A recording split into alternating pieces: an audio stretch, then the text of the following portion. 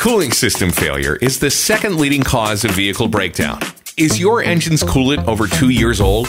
As additives deplete, so does the fluid's ability to protect the cooling system's components, increasing electrolysis and allowing harmful deposits and corrosion that can lead to overheating and component failure.